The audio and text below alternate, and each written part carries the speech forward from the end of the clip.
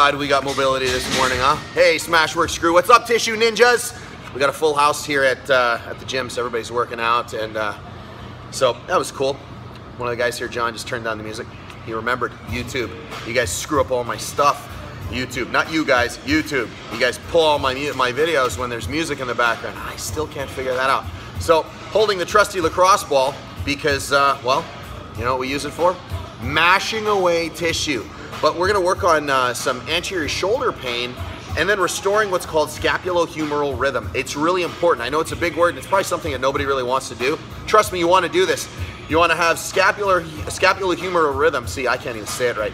Um, you want your rhythm, to, your rhythm to move right. You want your scapula to move right because it'll affect your bench press, it'll affect shoulder mechanics because the scapula is what? Scapula is the shoulder, the shoulder is the scapula. It's that simple.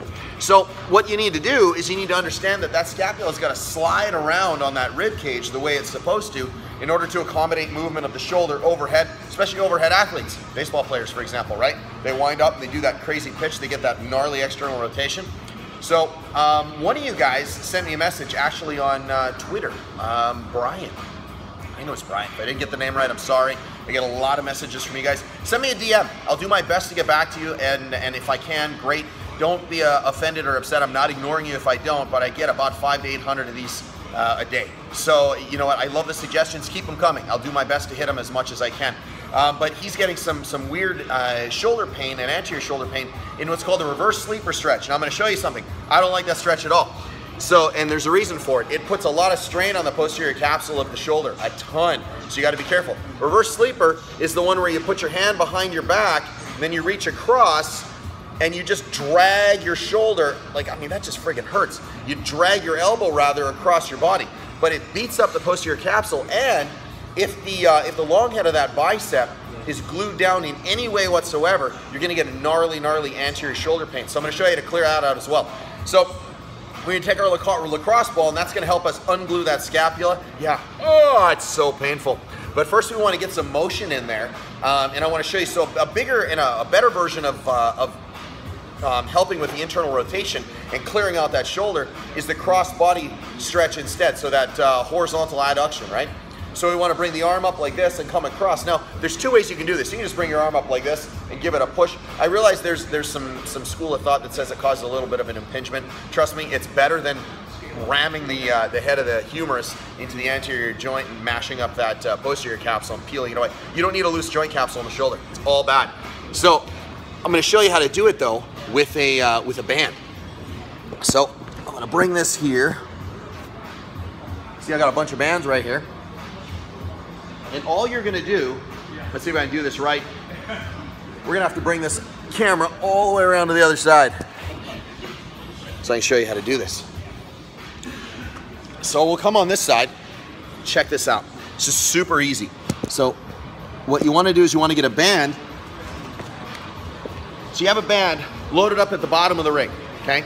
This is important. And now I'm gonna be perpendicular to the rig. So all I'm gonna do is I'm gonna be laying on my back like this, you know, wind up into the band, and I'm gonna stay all the way down like this. So all that's gonna happen is, this is, I'm gonna be blocked out at 90 degrees, and I'm just gonna grab really far. Make sure the elbow is almost right above your face, and just let it drag you across. Try and keep this at 90 so you're keeping it close to the floor. You're gonna feel it peel away on that posterior capsule. You're gonna feel it peel away on the front. Now there's a trick to this one. You're gonna take the lacrosse ball. Let's see. Oh, I was gonna recruit somebody.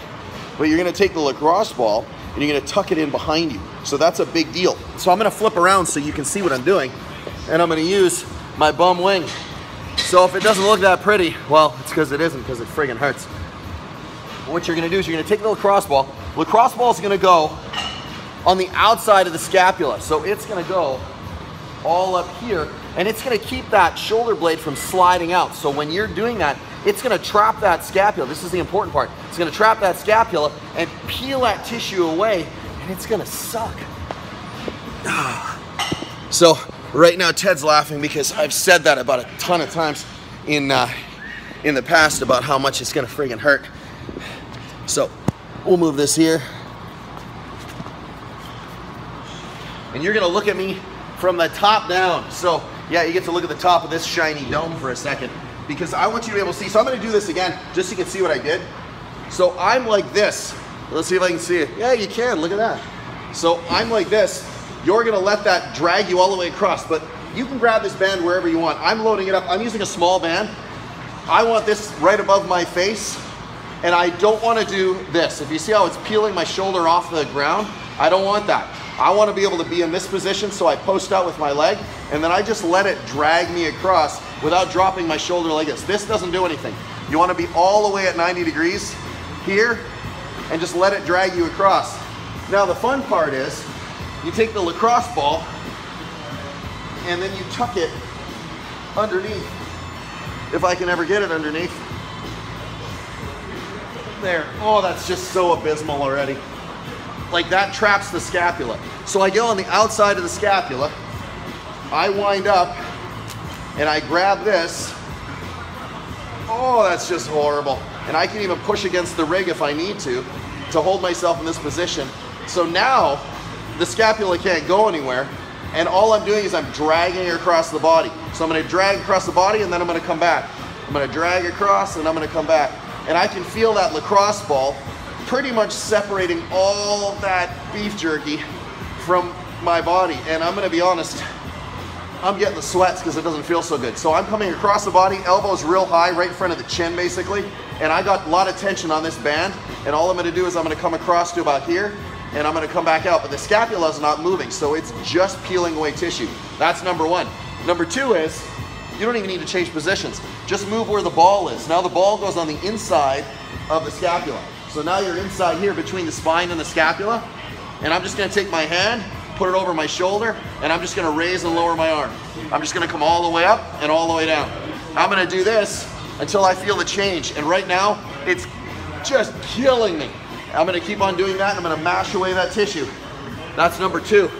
I know you got to see the top of my head for the half that video, that's all right. Number three is we wanna work on that internal rotation, clear out that bicep tendon. So there's a couple of ways to do this. One of the most effective ways is to use a barbell, and we've done this already. And I tell you, this friggin' hurts. But it's super duper effective. So what you're gonna do is you're gonna take this, I'm just bringing this closer so you guys can see me. So you can see I got the barbell here. Sleeve of the barbell.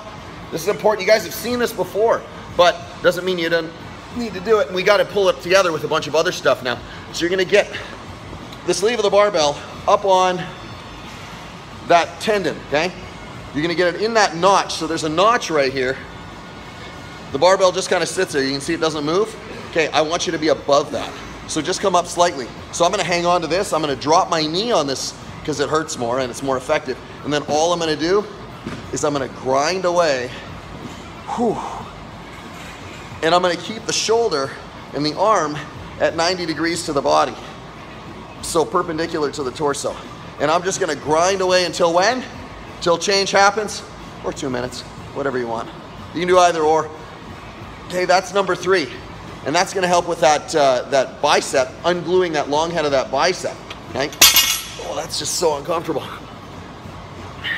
Now there's one more I'm gonna have you do, and this one's gonna hit that serratus anterior, and it's gonna peel it away. This one's really cool. So you guys were talking about scapulohumeral rhythm, remember? So we're doing all this to unglue the scapula so we can get the rhythm back. There's one more thing we need to do, and then I'm gonna show you how to get that rhythm back, and it's super important. So we're gonna take this, I'm gonna move it right over here so you can see what I'm doing. I know there's a lot going on here today. You're gonna take a band, raise it all the way up, and your job is gonna be to take your arm and it's gonna be against the body. So I don't want, it's not like the Bowley stretch, okay? So it's gonna be against the body, it's gonna be pulling up that way. So all you're gonna do is you're gonna wind up in this, do a little shimmy spin dance move. You can see where I'm going with this. Now you're just gonna take a knee, but I want it clamped against the body. Okay, so you can see where the arm is, it's clamped right against the body and it's pulling it at about 45 degrees up and you're just gonna let it hang out like this. How long do we stay like this? Two minutes. So this is the bully when we pull it away and it works on that internal rotation. I don't wanna rip on that tendon too much. I wanna peel away that serratus anterior And I'm just gonna pull that all the way up high. You're gonna feel that all up in the side. So just to give you an idea, I'll do the other side. So you're gonna take the band, it's gonna drag you, holy monkey, that hurts. It's gonna pull it all the way up behind you like this. Makes it look like you're being dragged off to prison. But you're gonna feel it all up in the side here because that serratus anterior comes off those first eight ribs and underneath the scapula. And you're gonna hang out like this for two minutes. Now we go for restoring the rhythm. All right, last one. I saved the best for last. It's like the longest friggin' video ever. I almost dropped a real bad word. This part's easy. You're gonna get into a plank position except on your elbows. And all your, the reason I have it on your elbows is it takes out the elbows. You're gonna hang out like this, and all you're gonna do is squeeze, protract and retract the scapula. So you're planked out, nice and hollowed position, and then you're just gonna go protract or retract, protract. And you're gonna do this two sets of 10. And I really want you to concentrate on flaring out those scapula at the top of the motion. It's gonna feel kind of awkward. You feel kind of weird when you do it because you're gonna want to press out and you can't because you're on your elbows. Make sure those elbows and the arms are perpendicular to the floor. Unglue the scapula, drag it across the body, trap that scapula so you can actually get that. Stop doing that reverse sleeper stretch. It's gonna just jack up your shoulder. Now there's a few occasions when you need it, but we'll talk about those later. You guys need anything done? You tell me, Trev, SmashweRx. Have an awesome day.